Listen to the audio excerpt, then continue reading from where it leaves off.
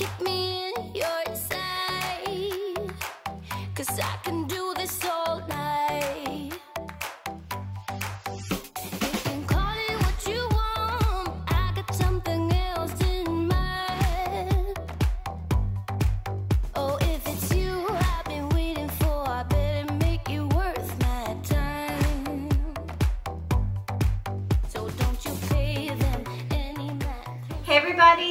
Mickey, and in today's video, I have a huge Costco haul for you and some really awesome crock pot recipes. So if you are new here and you like DIY, decor, organizing, cooking, and planning videos, I hope you'll take a minute to subscribe. I put out new videos every week about all things home.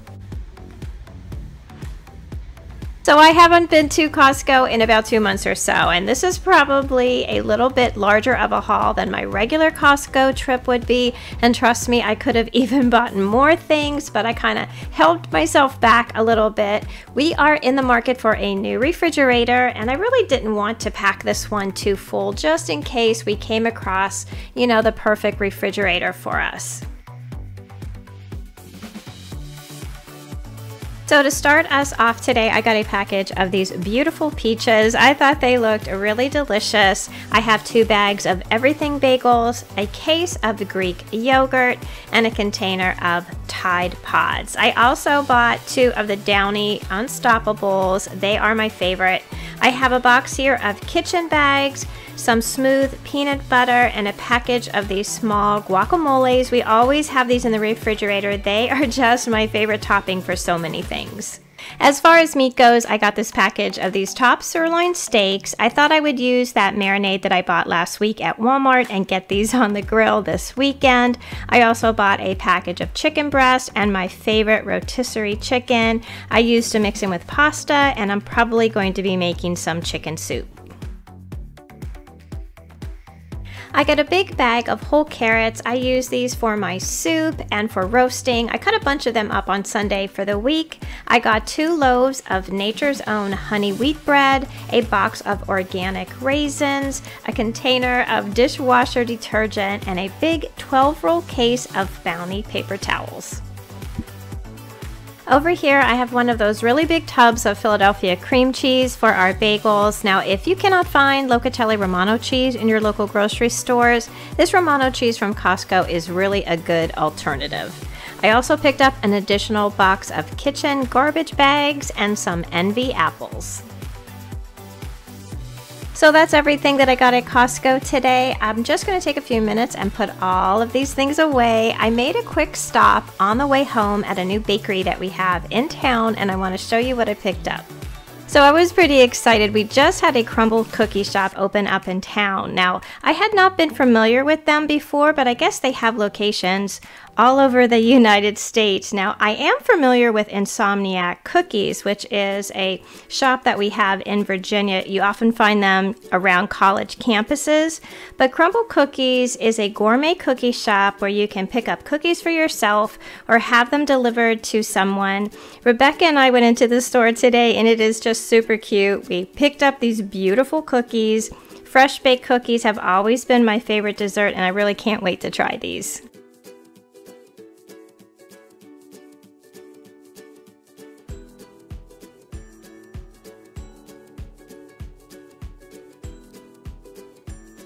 So we have been really wishing for stuffed peppers and I thought I would make that for dinner tonight, but I thought I would try to make it in the crock pot. Now I have never tried this before, but I can't imagine that it would be too difficult to do. So I went ahead and I pulled together all the ingredients that I think we're going to be needing. So for the meat, I'm going to be using um, a meatball and meatloaf mix, which is a combination of veal, pork, and beef. I think that this has so much more flavor than just a ground meat. This is what I always use to make my meatballs. So we're going to be using this today for the stuffed peppers.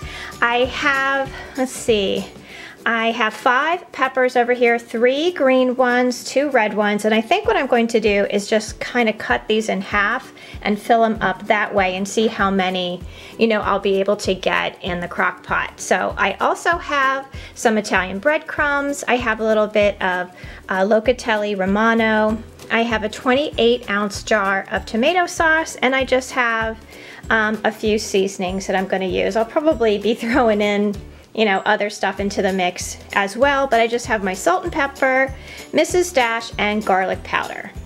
To start, of course, we are going to be browning our ground meat in a large saute pan.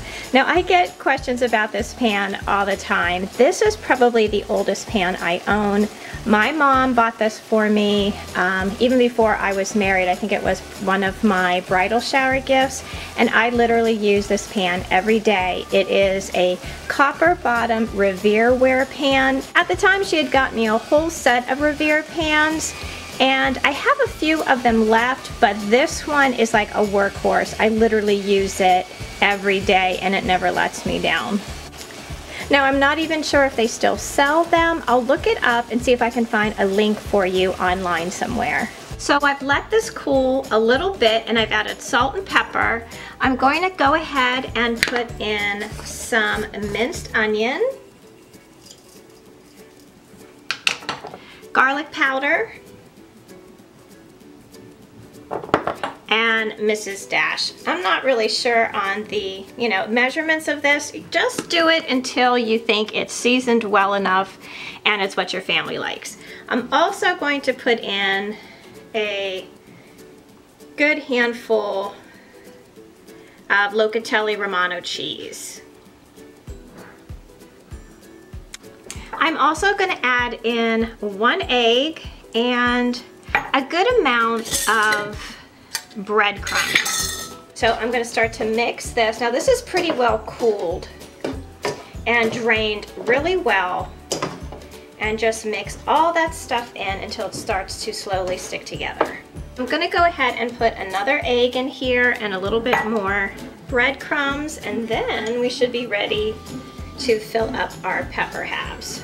I have my peppers ready to go. Here I have them all washed and cut in half. I have my meat all mixed up and ready to be stuffed into the peppers and I have my crock pot all ready with one of those Reynolds liners.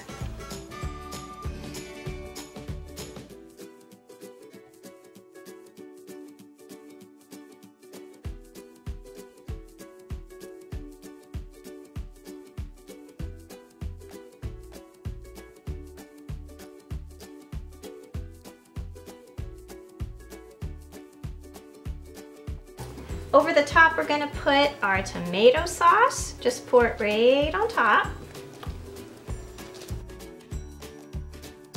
And then I'm just going to sprinkle on top a little bit of oregano, some basil, and a little bit of sugar. I'm gonna add a little bit of crushed red pepper flakes We'll cover it and cook it on low. I think we'll start for between two and three hours. So the house smelled so good while these peppers were cooking. I ended up cooking them about three hours. The peppers were just perfect and not too soft. I made some regular white rice to go along with the stuffed peppers and served them with a little bit of extra sauce. These were a huge hit with the family and I think I'll be using this crock pot method the next time I make them. It was so easy just to let them cook for a few hours while I was off doing other things.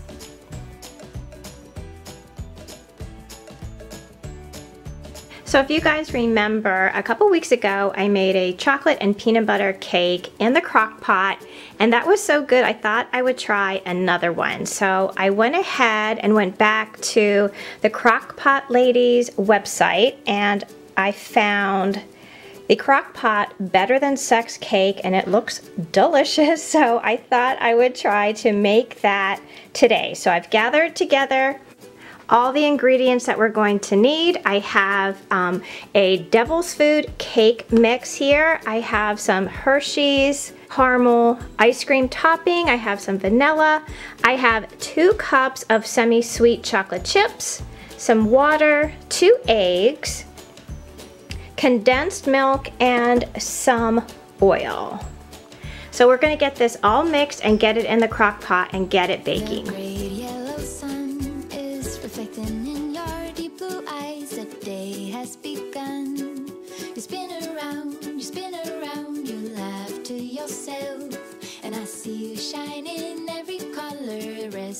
Your head in my arms. You sing. Cover and cook on high for two to three hours until the center is set and a toothpick comes out clean. Get rid of all your sorrows in the summer city. Take out your crock pot insert and let it cool on your counter while you mix together the remainder of the condensed milk and caramel sauce. Then you're going to take a spoon and poke holes throughout your cake. Cover the top with the condensed milk and caramel sauce mixture. Then put your cake into the refrigerator for a few hours until you're ready to serve. Be sure to check the information section down below for links and details to all the recipes shared in today's video. I served this cake up with some vanilla ice cream, chocolate and caramel sauce, and mini chocolate chips. This is one of those cake recipes that gets even better the longer that it stays in the refrigerator, but in our house it really didn't stay that long. So thank you all so much for watching today. I am so glad that you are enjoying these cooking videos. I'm kind of on a roll here, so there are many more on the way. Please join our communities over on Facebook and Instagram at My Bashful Life, and please don't forget to subscribe. I'd love to have you all back as part of our YouTube family. So until I see you in that next video, I hope that you love the life that you have, be kind to each other, stay safe, and I'll see you again soon. Bye!